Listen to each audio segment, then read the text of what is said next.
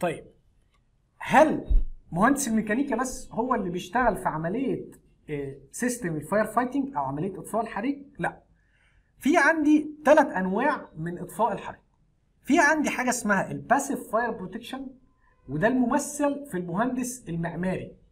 وهنعرف بيعمل إيه دلوقتي بالظبط. إيه فايدة المهندس المعماري في إن هو يعمل إطفاء الحريق أو إن هو يعمل تدابير إن هي تتغلب بعد كده ان ما يحصلش حريق؟ في عندي بقى ال active fire protection ال passive fire protection دي اللي هو خلاص يعني مبنى. المبنى ده خلاص تم إنشاؤه. فبالتالي المبنى ده في ال material والمواد بتاعته والحوائط بتاعته الحاجات زي كلها بتتعمل من مواد معينة بحيث ان هي تتغلب على الحريق ودي إحنا هنشرحها دلوقتي. فعشان كده اسمه passive يعني خلاص هو قائم حاجة قائمة. ال active fire protection دي حاجة بقى بتتفعل. حاجة بتتفعل عند حدوث حريق. مين بقى المسؤول عنها؟ مسؤول عنها اتنين مهندسين.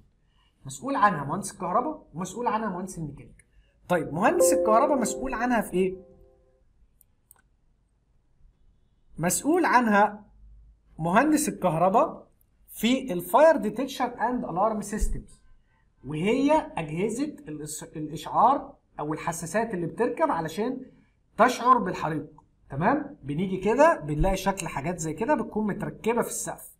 دي بقى حساسات الحساسات دي فايدتها في منها أنواع كتير في حساس دخان في حساس حرارة في حساس لهب الحساسات دي فايدتها إن هي بتشعر بالدخان فبتدي لك إنذار. بتشعر درجة حرارة ارتفعت فبتدي لك إنذار. بتشعر إن في لهب طب واللهب ده بنستخدمه فين؟ اللهب ده بنستخدمه في الأماكن اللي على طول فيها دخان وعلى طول الحرارة فيها عالية زي المطابخ. فبنستخدم فيها أنواع تانية من الحساسات. لو في لهب يبقى كده في حريق تمام؟ فأنا دلوقتي اتكلمت عن ال active fire protection الممثل في مهندس الكهرباء وعندي ال mechanical engineer وهو ده ال scope بتاعنا اللي هو اللي بيقوم بعمل أنظمة الإطفاء الأوتوماتيكية واليدوية وبيقوم بتوزيعها في المبنى علشان أنت تقدر تكافح بيها الحريق. تمام؟ فإحنا اتكلمنا كده عن المهندس المعماري اتكلمنا عن مهندس الكهرباء اتكلمنا عن مهندس الميكانيكا. آخر حاجة معانا بقى اللي هي ال education واللي هي ممثلة في ال civil defense الدفاع المدني. الدفاع المدني اللي هي ممثلة في هيئة الدفاع المدني والمطافي وحاجات زي كده اللي هم الناس اللي بيجوا ياخدوا بقى على الحريق. يعني هل معنى كده إن أنا لو عندي system مثلا رشاشات في المكان هل ده كافي إن هو يخدع الحريق؟ لا مش كافي. لازم بيكون في تدخل في الأول وفي الآخر منين؟ من المطافي. لو في حريق لازم يكون في تدخل من مش معنى إن أنا عندي نظام إطفاء حريق؟ نظام إطفاء الحريق ده هيساعدك في إن أنت تحجم الحريق. بس لازم بيجي بقى المطافي هي بقى اللي بتقضي وبتطفي بقى الحريق بشكل كامل. تمام؟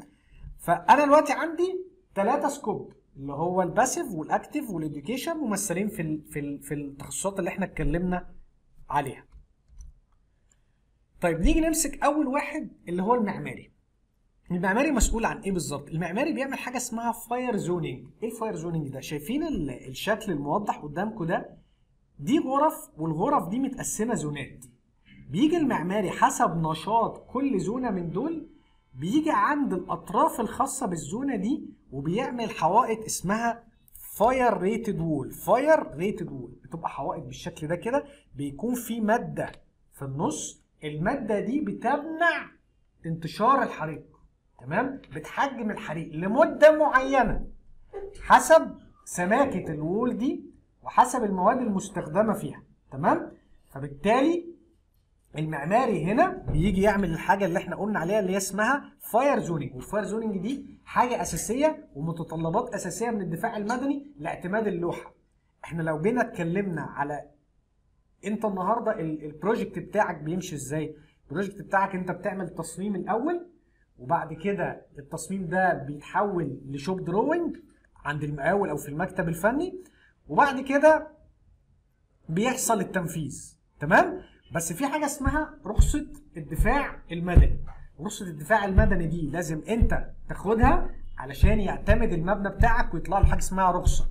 الرخصة دي بقى أنت بتروح الدفاع المدني بتقدم اللوحات بتاعتك اللي فيها التصميم النظام الاطفاء بتاعك بالكامل وفيها كل التفاصيل وفيها اللوحة وفيها اللوحة دي. دي اللوحة دي اسمها ال fire zoning.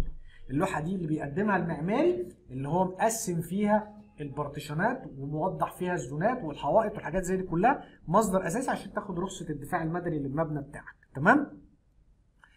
آه ال fire rated walls وبيعمل حاجة تانية اسمها ال water curtains. ال water curtains دي دي زي وسائل مكافحة بتتركب على المبنى من الخارج زي ستاير مية بحيث إن هو بتتركب في أماكن معينة عشان تمنع برضو انتشار الحريق. ودي هنشوفها مع بعض برضو قدام.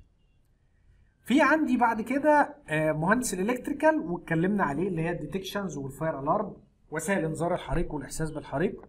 في عندي ال mechanical engineer وده اتكلمنا عليه برضو. ده ال fire rated wall اللي هي الحوائط الخاصة بتحجيم الحريق المسؤول عنها المهندس المعماري.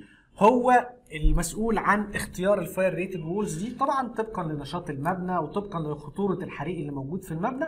بيبتدي إن هو يختار ال fire rated wall المناسبة للمكان ده. تمام؟ وده شكل برضو ال fire detection and alarm systems في عندك هنا دي الحساسات ودي اللوحة اللي هي الخاصة بالإنذار بقى وال alarm وال- والاجراس والحاجات اللي زي كده.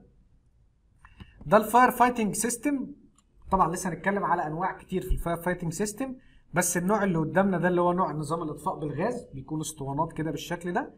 وده الفاير فايترز اللي هو الدفاع المدني.